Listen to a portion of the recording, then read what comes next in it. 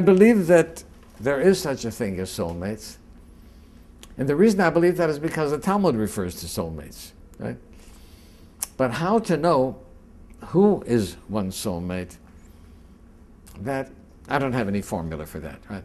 Uh, sometimes you find that uh, two people meet and they feel a kind of relationship, and sometimes it can only be explained, as some people do, in a previous reincarnation we were together, right? Those are concepts that you, know, you may believe in, you may not believe in. But uh, I do believe there's such a thing as soulmate, but I'm hard pressed to tell, ask anybody to tell anybody how to go finding their soulmate.